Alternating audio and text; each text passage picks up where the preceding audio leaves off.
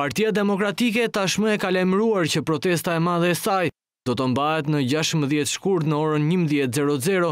Nënkryetari i Selisë Blu Edi Paloka në një intervistë flet për objektivin e protestës. Paloka shprehet se protesta do të jetë fillimi i një serie të re Por pa treguar mënyrat, ai thotë se synohet një protestë e vazhdueshme dhe çdo veprim i opozitës do të bëhet në funksion të saj.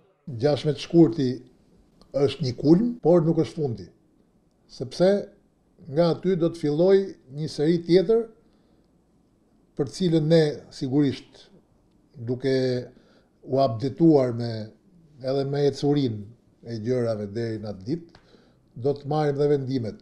Por, qëllimi sigurisht është një protestë e vazhdueshme. Nuk ka më kthim pas.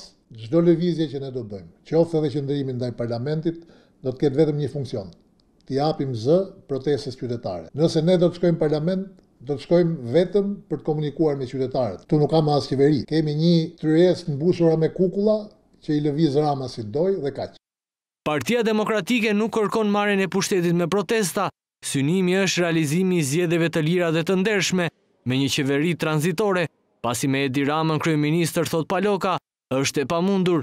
Synimi që ne kemi, jo vetëm Partia Demokratike, po dhe opozita në përgjithësi, është realizimi i zgjedhjeve të lira dhe të ndershme. Nuk ka synim as marrjen e pushtetit me protesta, në funksion të kësaj, sigurisht do të formatohet dhe qeveria që ne kërkojmë. Por, Unë nuk mund t'ju them sot një formulë, a do të jetë e përbërë nga socialistë dhe demokratë apo nga teknikë apo, e vetmja gjë që ne kemi të qartë është që sa të jetë Edi Rama në pushtet, zgjedhje të lira në këtë vend nuk do të ketë. Po cila është arsyeja që Partia Demokratike vendosi që nga mbështetëse e protestave të jetë udhëheqëse e tyre.